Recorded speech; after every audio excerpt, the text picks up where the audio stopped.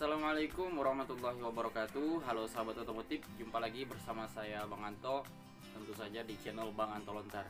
Nah di video kali ini kita akan mereview beberapa modifikasi motor zaman dulu Yaitu motor C70 Yang penasaran bagaimana foto-foto modifikasinya? Simak terus